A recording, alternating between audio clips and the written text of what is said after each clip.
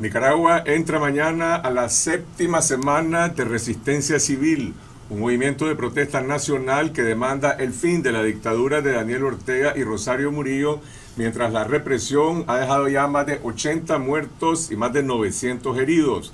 El miércoles pasado se suspendió el diálogo nacional sin ningún acuerdo a pesar de que los obispos propusieron una comisión mixta de seis personas para que continuaran negociando, tres por el gobierno y tres por la Alianza Cívica por la Democracia, al menos hasta el día de hoy no se ha producido ningún contacto. Y para analizar cuáles son los escenarios de los próximos días, nos acompañan Valesca Valle y Grecia Rivera, miembros de la coalición universitaria. Buenas noches, Grecia, Valesca, gracias por estar con nosotros. La gente se pregunta cuál es el siguiente paso de la estrategia de este movimiento de protesta. Vamos hacia un conflicto prolongado. ¿Se puede mantener dentro de los parámetros de una lucha cívica si el gobierno mantiene la represión paramilitar? Es importante recalcar que siempre, a pesar del dolor y a pesar de toda la represión, a pesar de todo esto que Nicaragua lleva consigo en el corazón, nosotros no estamos dispuestos a utilizar la Fuerza Armada. Y es algo que hemos tratado con toda la voluntad y con todos los sectores eh, de mantener.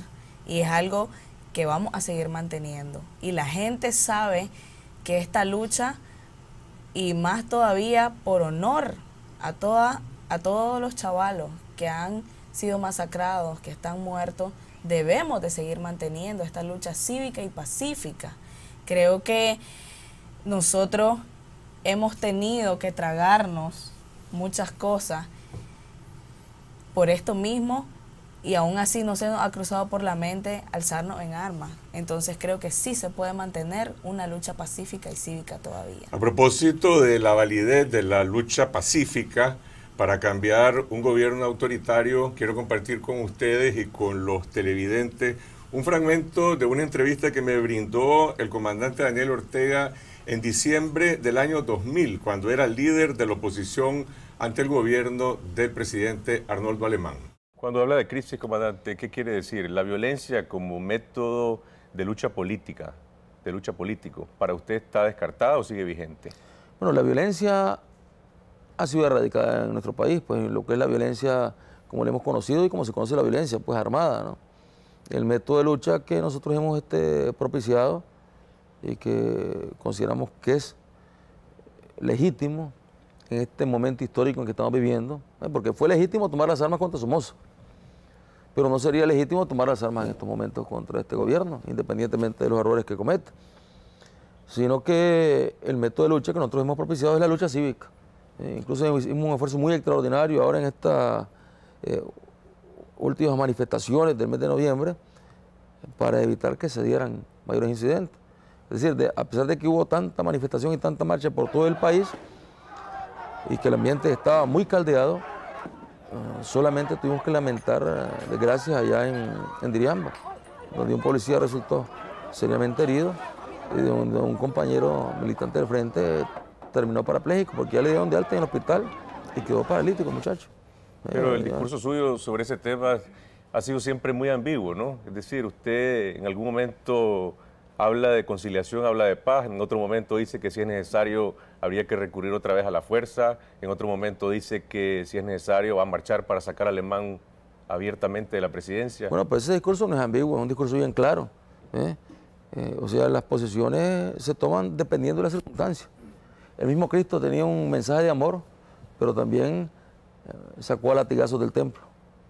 A los que estaban, a los fariseos que estaban en el templo, los sacó a latigazos, a los mercaderes del templo los sacó a latigazos. O sea que hay no, circunstancias. No, dudó en, sacarlos a latigazos. Hay circunstancias en que la violencia sigue siendo vigente. Hay circunstancias, desgraciadamente, pues en el mundo todavía, pues.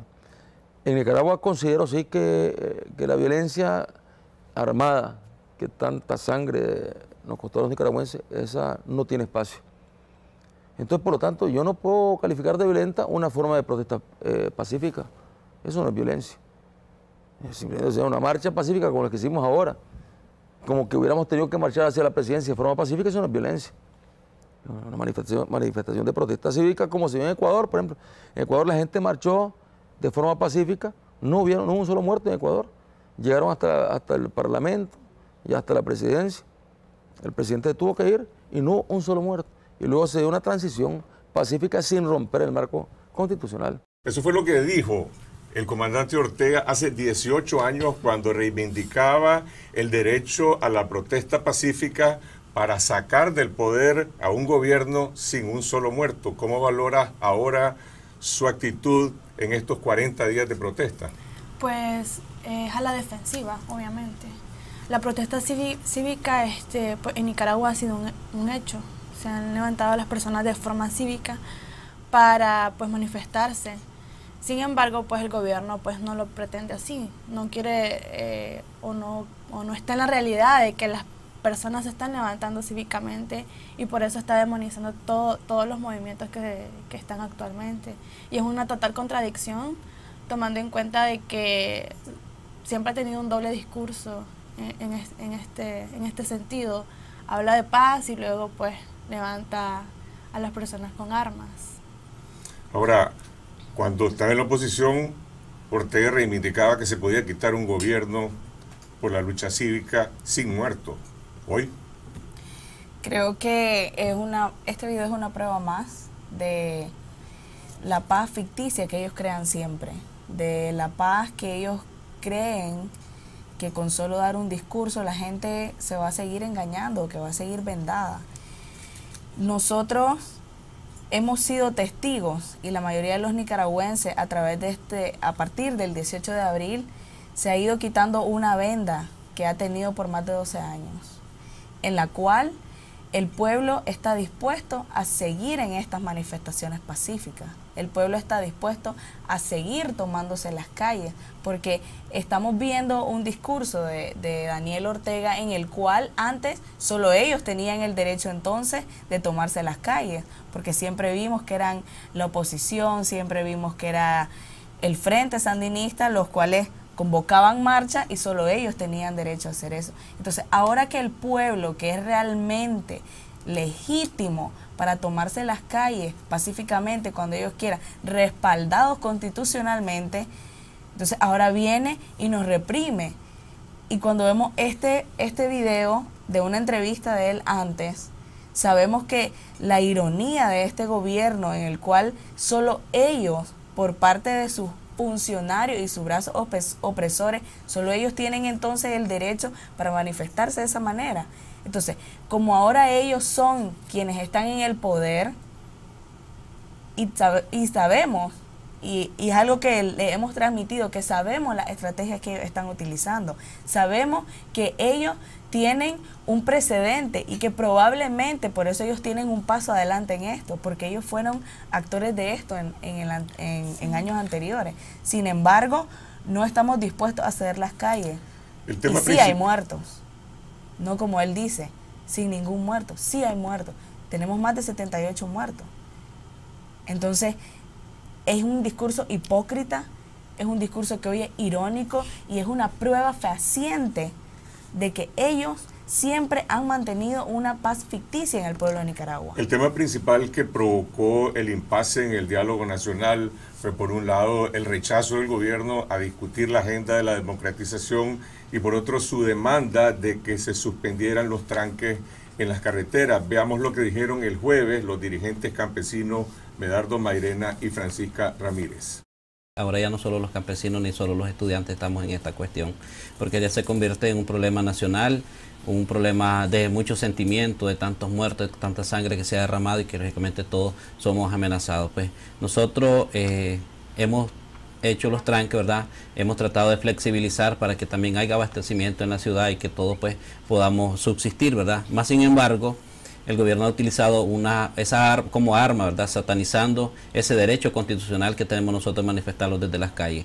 O sea, está pretendiendo de que nosotros no podamos, lógicamente, eh, siempre él ha tratado de de alguna forma manipular para que nosotros no podamos manifestarlo, cuando es la única arma que nos ha quedado y eso el pueblo de Nicaragua es testigo, que las calles nada más, porque todos los poderes del Estado están parcializados y lógicamente las demandas sociales de este país nunca fueron escuchadas y hoy que el pueblo está exigiendo justicia, pues están en las calles y solo las calles nos ha quedado. Los tranques los hemos puesto en diferentes partes de Nicaragua, actos convocados, porque ya no solo es el movimiento campesino, ya es todo Nicaragua que está ahí trancando de tranque, manifestándose de esa manera, porque hemos entendido la manera de los tranques como una manera de hacer presión y poder eh, presionar para que no haya más violencia, para detener la violencia que tiene el gobierno en contra del pueblo. O sea, creo que es lamentable y es duro, pero también el pueblo entiende que no tenemos otro camino más que hacer masa de gente y luchar en las calles, luchar en los municipios, luchar en los barrios, luchar desde, desde nuestras calles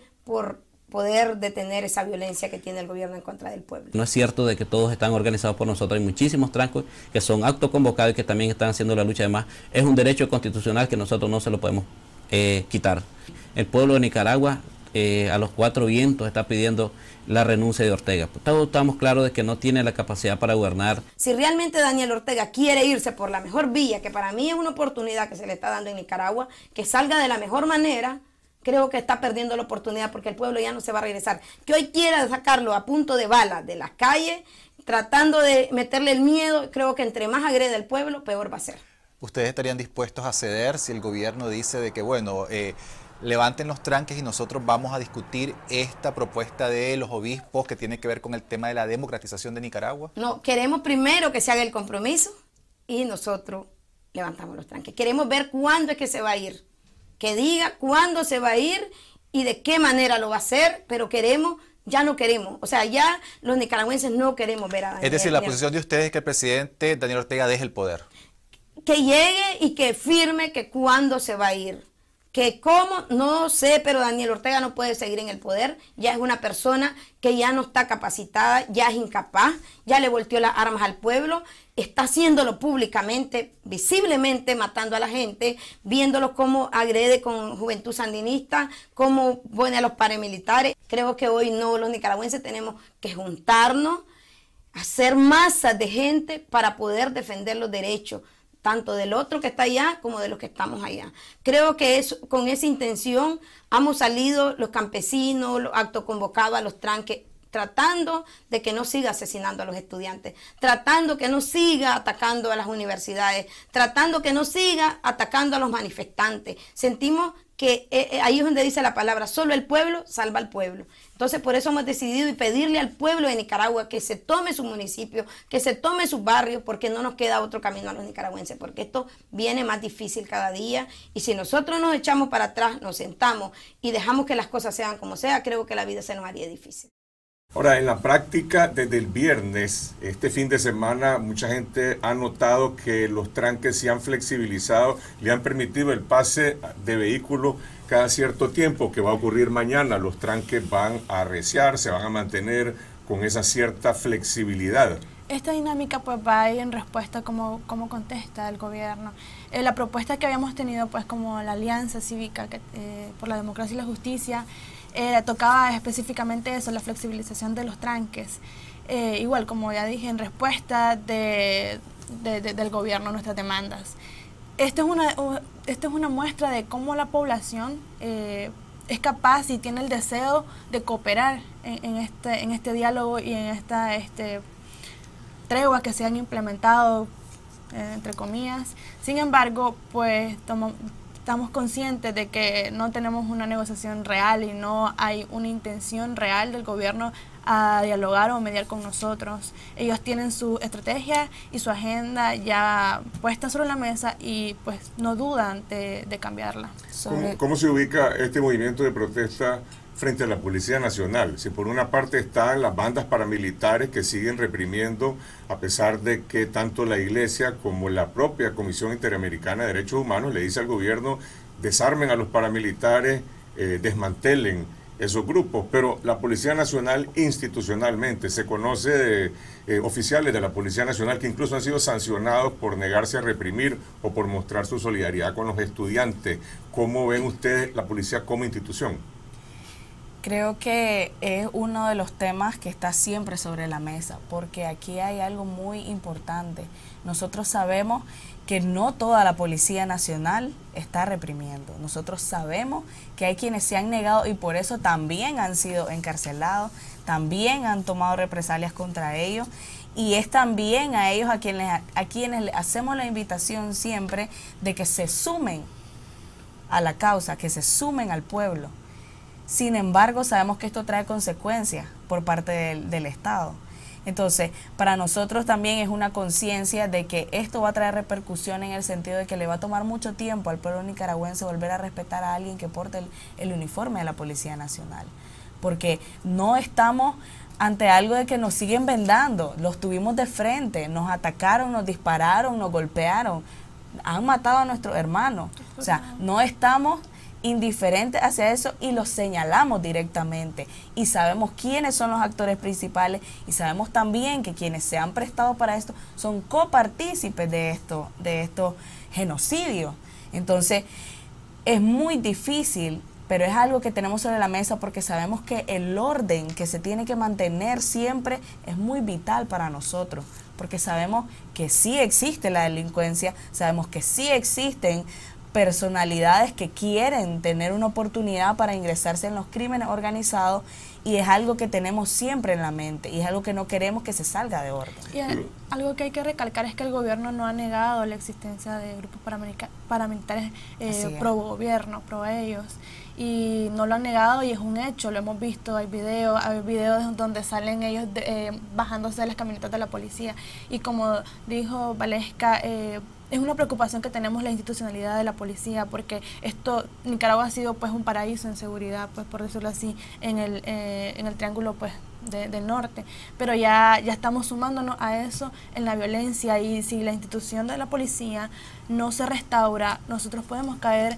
en un estado de anarquía que no, no nos conviene. Este movimiento contempla a partir de mañana lunes otras formas de presión, de desobediencia civil. Eh, la gente pregunta qué va a pasar. Sí, eh, creo que la presión a partir del día lunes va a ser más extensa. Sobre todo recalcar que ha habido voluntad de los tranques en cuanto les llaman a ellos directamente delincuentes que no quieren que, que, la economía en Nicaragua siga estable, sabemos que esta gente que autoconvocada por ellos mismos, no fue por mandato de nosotros, ni mucho menos del campesinado, sabemos que muchos de los tranques son autoconvocados, entonces ellos mismos decidieron dar vía libre y flexibilizar este fin de semana, sobre todo por lo que pasó en la suspensión del diálogo. Entonces sabemos que es un pueblo que reconoce su propia economía, porque no somos, no somos solo nosotros quienes están ahí, está el mismo pueblo y el mismo pueblo conoce su realidad. Entonces cuando el gobierno dice que los tranques, que quiten los tranques y los tranques, a ellos no les interesa realmente el pueblo, a ellos les interesa su bolsillo, a ellos les interesa que no está entrando aquello con lo que pueden moverse toda su empresa, aquello que les da a ellos la oxigenación económica. Entonces a ellos les está afectando directamente y es por eso que ellos van a seguir haciendo hincapié, porque esa es la medida de represión más fuerte que hay. Entre los sectores empresariales se han escuchado voces de algunas personas que dicen un paro nacional es una medida de último recurso entre la coalición universitaria o esta alianza cívica en la que participan también los empresarios, los campesinos, la sociedad civil, se ha contemplado la posibilidad de llamar a un paro nacional? Eh, sí, como última instancia sí, porque nosotros ya lo hemos analizado eh, conjuntamente y tomamos en cuenta de que un paro nacional a media puede golpear eh, fuertemente nuestra economía y no resolver nada. Entonces, si se plantea un paro nacional, tiene que ser muy bien ejecutado, ejecutado y pues plantearse pues las medidas de contingencia que este va a necesitar para que sea efectivo. Si lo que queremos eh, eh, pues lograr, tiene, tiene que ser conjuntamente con, con todo y no se logra de la noche a la mañana. O sea, ¿cuál es la diferencia entre un paro nacional a media y un paro nacional, qué sería, total? Total, el impacto que pueda tener de presión directa hacia el gobierno. O sea, no puede ser que cuando se convoque a un paro nacional hayan sectores que no lo valoren y que no lo quieran de cierta manera apoyar o aprobar o asimilar, en el sentido de que, ¿qué pasa si este paro es a medias y hay personas que siguen yendo a los trabajos, entonces ellos ven una, una manera de seguir objetándose y jactándose de que no es todo el pueblo el que está en esto. ¿Cómo entonces, necesitamos que todos los sectores estén de acuerdo y que sea la convocatoria general. Entonces, de esa manera hacer una presión total. Este movimiento tiene eco, tiene relación con los trabajadores públicos, con los empleados públicos. Yo he entrevistado algunos colegas de ustedes, dirigentes de este movimiento universitario, cuyos padres y familiares trabajan en el sector público. Y hay algunas señales, no sé, en el campo de los maestros, de los médicos, de los trabajadores del área de Hacienda Pública y otros ministerios que pareciera que están siendo muy presionados por el gobierno para que participen en sus actividades políticas, a pesar de lo que dijeron los obispos. Sí, es que eso ha sido una estrategia del gobierno de Daniel Ortega. Eh, no hay una... La gente no entiende de que los funcionarios públicos son responden al Estado y no al gobierno. El gobierno es un administrador nada más, pero ellos se han encargado de que las personas que trabajan en las instituciones le deban el trabajo a ellos, a su gobierno y no al Estado. Si comprendemos que le deben al Estado, ellos deberían de estar conscientes que no deben de, de pues responder ni, ni, ni ir a marchas, ni, ni hacer todo lo que el gobierno les está amenazando. Pero hasta este momento se mantiene el control político sobre los empleados públicos. De cierta manera, porque también los empleados del Estado y de las instituciones públicas se han visto en que una forma de protesta y se han visto las muchas renuncias que han hecho a sus cargos. Entonces, ellos sienten que aportando de esta manera, ellos están haciendo un aporte directamente.